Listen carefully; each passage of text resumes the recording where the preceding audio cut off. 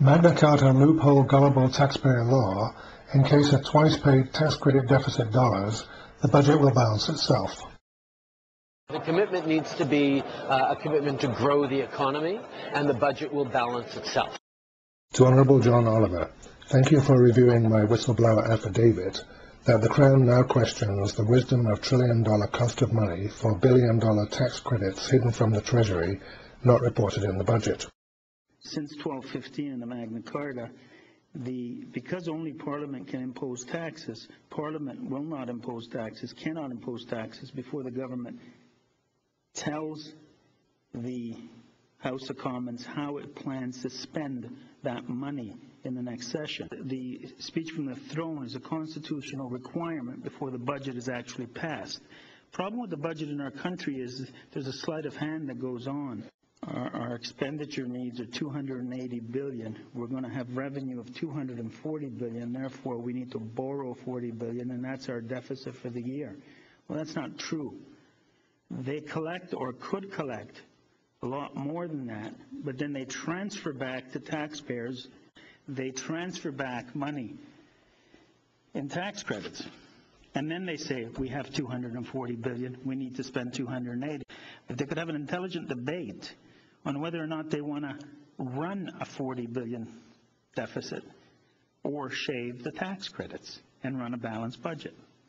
And so that's a very nasty sleight of hand that's going on with our budgetary process, which I we say is unconstitutional. You can get the last question. Uh, well, my question is about tax arbitrage. Criminal bankers. The American journalist um, Mike Kinsley put forth the doctrine that the real scandal isn't usually the illegal things people do, it's the things that are fully legal. And that is certainly true with respect to tax sheltering and overseas tax sheltering and tax sheltering by uh, financial institutions.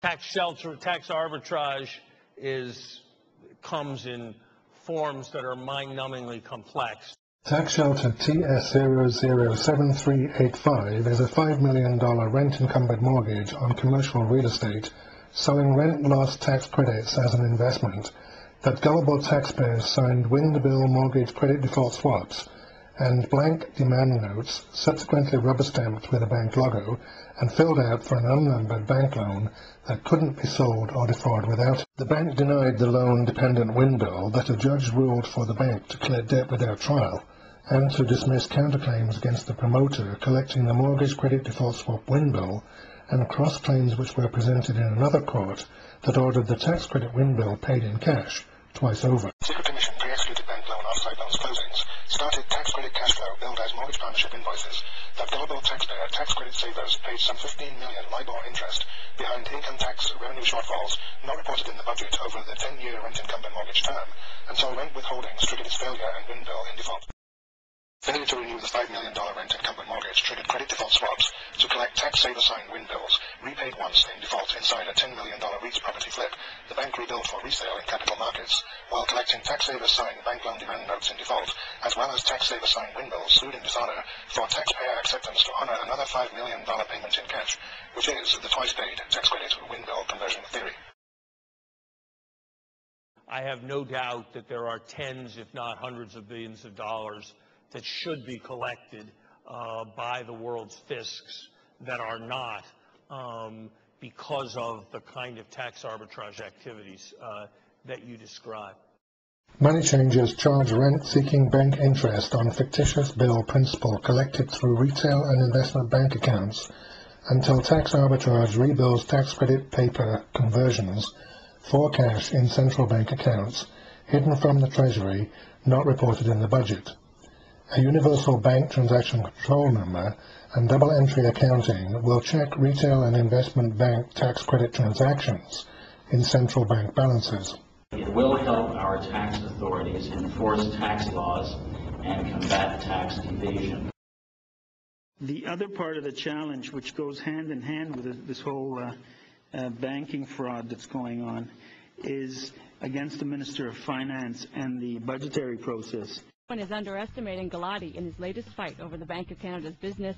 His cases can seem improbable. In this case, what is your hope?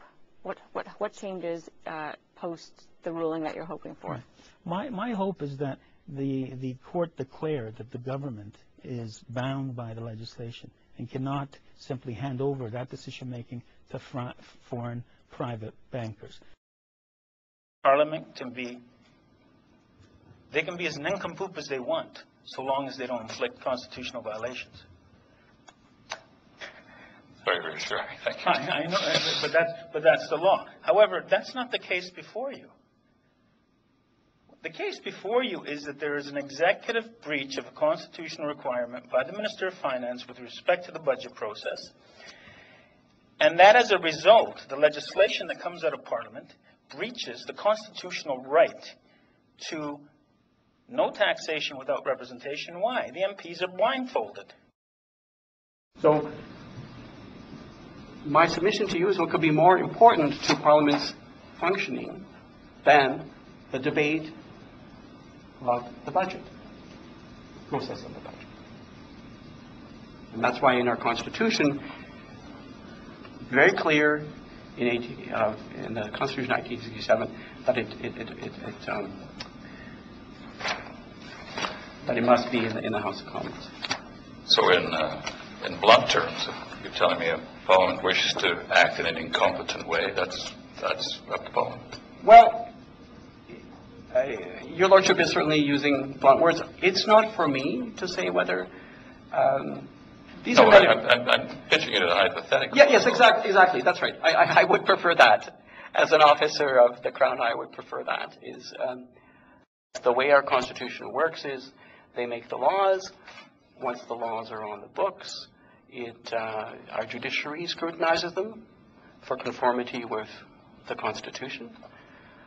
But but um, wisdom is not something that wisdom of legislation is, is not in the bailiwick of, of courts, as I understand it. So if a, if a bill comes before Parliament and uh, the information is, uh, is defective, I mean, there's not enough information there to make a meaningful decision, the remedy is what you're telling me is. Uh, well, I, I, guess the remedy is this: is that um, we have um, elections every um, at least five years. The, the, Constitution mandates. So the remedy would be is that people would vote in uh, a party that would uh, pass a different law. Are you saying if Parliament wishes to pass legislation without having the full wherewithal, the full knowledge of what that legislation is all about, that's okay? That's up to Parliament, because my next point is that Parliament is supreme in its deliberations. That's true, but uh, once again, I, your bottom your bottom line, I think, is you're telling me if you have a problem um, with what occurred here, your your complaint should be to your representative and not to the court. Yes, sir. All yes. Yeah. That's that's that's exactly it. Yeah. Yeah, that's that's my submission. Systems that we're talking about are currently legal. We we see that though the implications of these structures uh, create a an unequal playing field. So we don't think that they're fair. What we're trying to do is make sure that people that are getting their income through a typical salary that they might be earning are not in a situation that's worse off than someone that might be able to use a private corporation to uh, to sprinkle income among family members or to turn regular income into capital gains. So uh, what we're really doing is is closing down loopholes. Which in my tax shelter small print is a rent-paid mortgage-backed securities secret loan-dependent tax credit note that I signed as a tax credit maker to offset rent-paid cost of mortgage interest income tax losses in revenue shortfalls for 10 years until the mortgage failure to roll over in default, when the mortgage holder billed tax credit note principal contingent liability from my private account the and the discount note holder for value rebilled the same tax credit note principal paid on public account, used my signature, signed as a taxpayer. Which is Magna Carta loophole, twice paid tax credit deficit dollars. Neither the 2015 Magna Carta nor the 1882 Bills of Exchange Act defines law for bank control and in 2016 the Federal Court of Canada ruled against trial of tax arbitrage that the government still issues tax credits to banks that profit from financial ruin and notional national debt.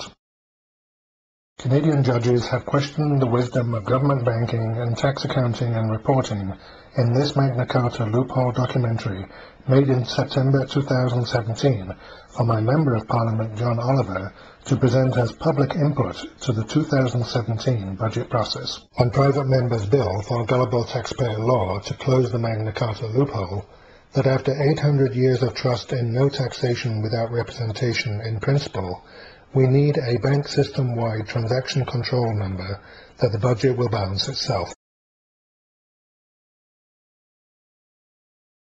To Honourable John Oliver, thank you for reviewing my tax whistleblower affidavit that I reported my role as a gullible taxpayer to the police to investigate.